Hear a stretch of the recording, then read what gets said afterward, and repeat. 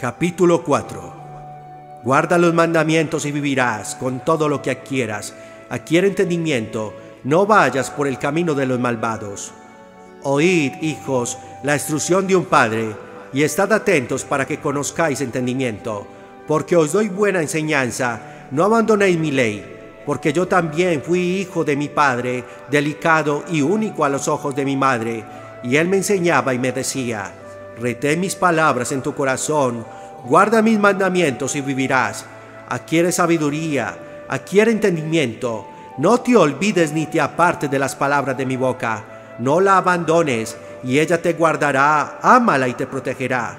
Sabiduría ante todo, adquiere sabiduría, y con todo lo que adquieras, adquiere entendimiento.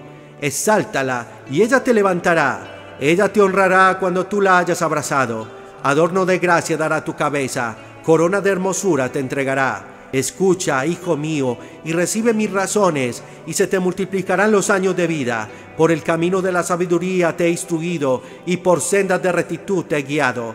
En tu andar no se obstruirán tus pasos, y si corres no tropezarás. Aférrate a la instrucción, no la dejes, guárdala porque ella es tu vida. No entres en la vereda de los malvados, ni vayas por el camino de los malos Déjala, no pases por ella, apártate de ella, pasa de largo, porque ellos no duermen si no han hecho mal, y pierden el sueño si no han hecho caer alguno, porque comen pan de maldad y beben vino de violencias. Mas la senda de los justos es como la luz resplandeciente, que va en aumento hasta que el día es perfecto.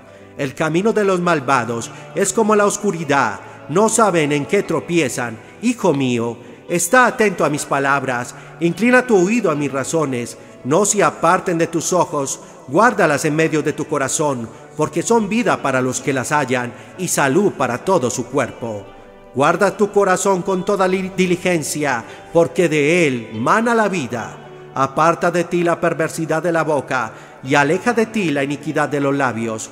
Miren tus ojos al frente y diríjanse tus párpados hacia lo que está delante de ti Examina la senda de tus pies y sean establecidos todos tus caminos.